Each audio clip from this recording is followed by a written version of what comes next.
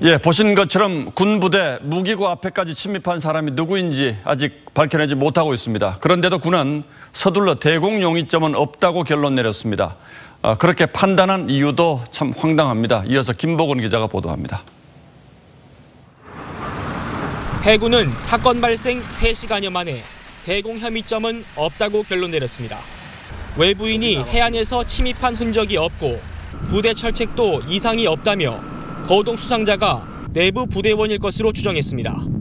해군은 당시 거동 수상자가 도주 중에 랜턴을 점등했다며 대공 혐의점이 있다면 눈에 띄게 랜턴을 들거나 도로를 따라 뛰지 않았을 것이라고 했습니다. 하지만 거동 수상자가 암구호에 응하지 않고 탄약창 근처에서 발견된 것을 감안하면 외부인일 가능성을 배제하기 어렵다는 주장도 있습니다. 어떤 근거로 단시간에 대공용 입점이 없다고 결론을 내었는지 어떠한 정보를 바탕으로 거수자가 내부 인원이었다고 단정 지은 것인지 김 의원은 해군이 거동 수상자를 쫓던 중 인근 부대 골프장 입구 울타리 아래에서 오리발을 발견했다며 간첩이 오리발을 착용하고 침입했을 가능성도 조사해야 했는데 서둘러 그 가능성을 배제했다고 주장했습니다.